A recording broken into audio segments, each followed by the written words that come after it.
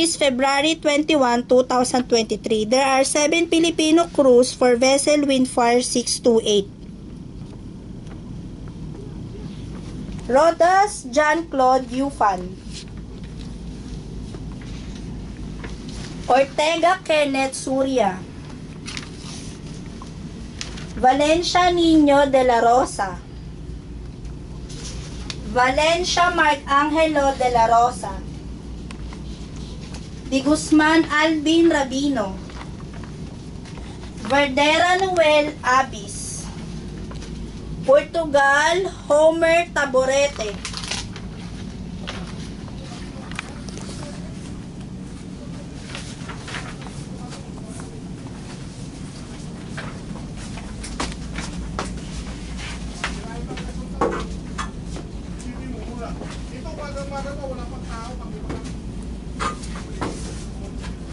Maligayang pagdating sa bawat isa at sa pagiging bahagi ng industriya ng pangingisda sa Taiwan.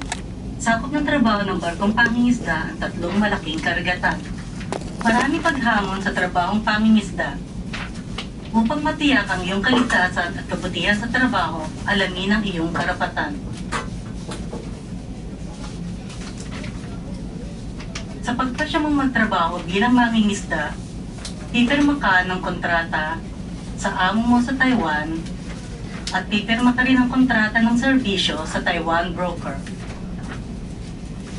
Kasama rito ang mga sumusunod, panahon ng kontrata, trabahong gagawin, sahod, insurance, gastos sa transportasyon, oras ng pahinga, proteksyon ng manggagawa, sakit at aksidente, serbisyo ng broker, utang, obligasyon, paglabag sa kontrata, paglutas ng problema at iba pa.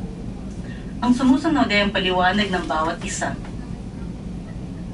1. Panahon ng kontrata. Kapag ikaw ay pipirma, basahin mabuti ang kontrata. Dapat malinaw na nakasulat ang taon, buwan at petsa. Kapag lumagpas dito ang panahon ng operasyon ng barko, automatic na pahabain ang panahon ng kontrata hanggang matapos ang paglaot ng barko. Sa pagtapos ng iyong kontrata, kung pumayag ka at ang amo mong ituloy ito, kailangan pumirma ng bagong kontrata ang dalawang panig. 2. Trabahong gagawin. Garantihan ng kontrata ang sakop ng iyong trabaho at kung aling barko ka magtatrabaho. Kapag hindi ka pumayag o hindi pa naayos ang transfer ayon sa patakaran, walang makakapagpilit sa iyong lumipat ng trabaho sa ibang barko. 3. Sahod Bukod sa pagbibigay ng amo ng pagkain sa barko, dapat ibigay ang buong sweldo sa paraang napagkasunduan. Maaaring hilingin sa amo na ibigay ang iyong sahod in cash o irimit ang iyong sahod sa itinalagang account. Ang iyong buwan ng sahod ay ibibigay na iyong amo na hindi bababa ng 550 US dollars. Sa tuwing tatanggap ng sahod o karagdagang bonus, tanda ang pirmahan at lagyan ng thumb mark ang resibo upang mapangalagaan ang iyong karapatan.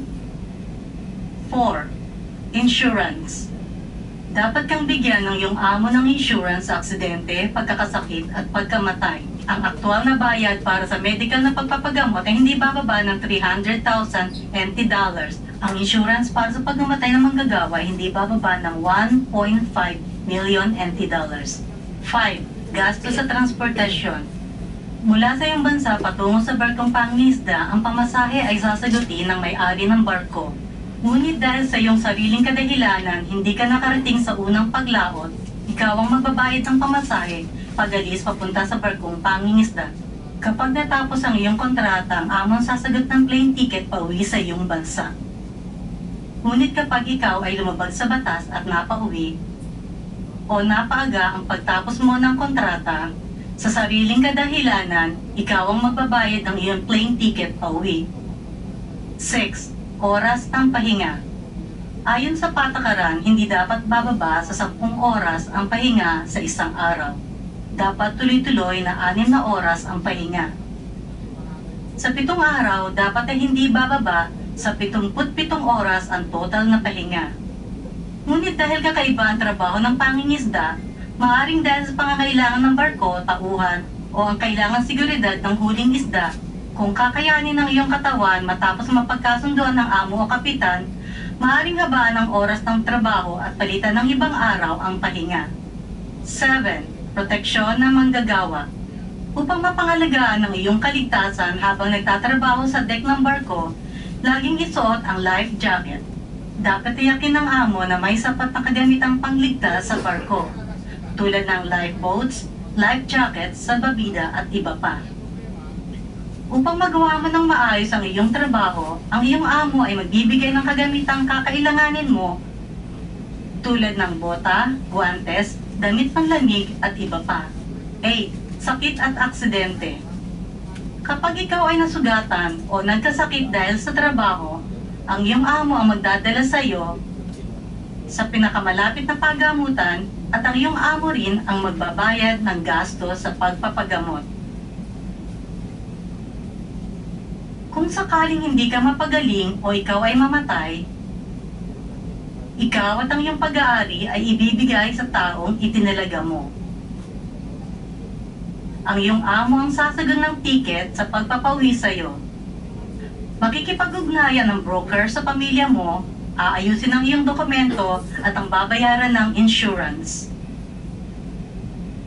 Ngunit kung hindi dahil sa trabaho ang iyong sugat o sakit, at di makakapagtrabaho sa madiling panahon, maaaring walang bayaran ng amo at mapapaagang makansela ang iyong kontrata. 9. Serbisyo ng broker Mga serbisyo ng broker Ayusin ang mga dokumentong kailangan sa trabaho sa barko sa Taiwan. Paghatid sa lugar ng trabaho at pagsundo kapag tapos na ang kontrata tulungan makipag-usap sa amo. Dapat din sabihin ng broker ang mga patakaran sa trabaho at pamumuhay sa barko. Pag-schedule sa itinaligang hospital para sa medical examination, pag-translate sa konsultasyon, at iba pa, dapat mong tandaan ang emergency telephone number ng iyong broker para masabi mo agad ang iyong problema. Sa kontratang pinirmahan mo at ng broker, Nakasulat dito ang halaga ng pagproseso ng mga dokumento, medical examination at iba pa. Hindi dapat maningil ang broker ng halagang hindi nakasulat sa kontrata.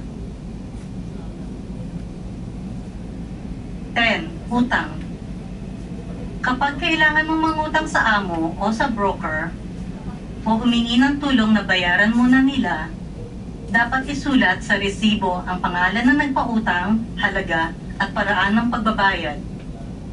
Kailangan na kumpirmahin mo na bago pumirma at lagyan ng mark, hindi maaring lumabag ang sinuman sa napagkasunduan ng paraan ng pagbabayad at hindi dapat kaltasin sa sahod mo ang anumang multa o penalty ng walang pahintulot. 11. Kakaibang pangangailangan kung dahil sa reliyon o kaugilian at may bawal o espesyal na pangangailangan, sabihin agad sa amo, sa broker o sa kapitan ng barko.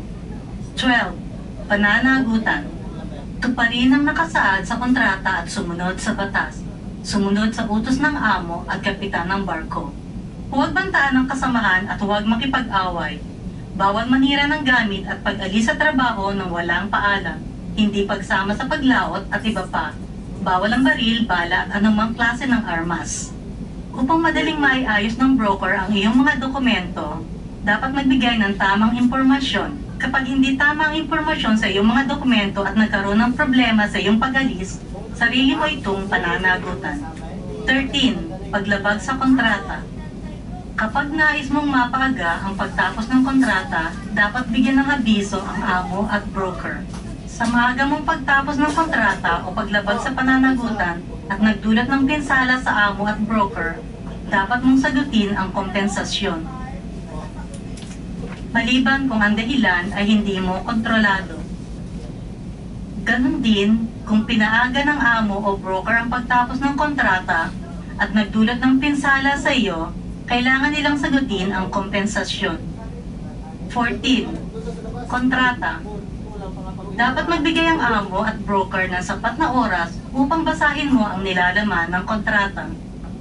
Matapos mong maunawaan ang iyong karapatan at pananagutan, pipirma ng kontrata ang amo sa Taiwan at isang kontrata sa serbisyo ng broker sa Taiwan. At tandaan, dapat ay may kopya ka ng mga permadong kontrata. Nais namin na magkaroon ka ng ligtas at maayos na trabaho. Kapag nagkaroon ng paglabag sa karapatan sa trabaho, hindi pagkakaintindihan o pagmamaltrato sa trabaho, huwag patagilin at i-report agad. Kapag nasa Taiwan, tumawag sa 1955. Ito ay libreng serbisyo ng pagtatanong at pag-apila sa wikang Chino, English, Thai, Indonesia at Vietnam. Kapag nasa labas ng Taiwan, tumawag sa 886-2873-3141 o magreklamo sa TECO o sa observer o sa investigador. Maari rin sa pagbalik ng barko sa Taiwan, magsabi sa bumibisitang opisyal. Nais ng Fisheries Department of Agriculture Committee of Executive Yuan ang masayang paglaot at payapang pag-uwi ng bawat isa nating kasamahan.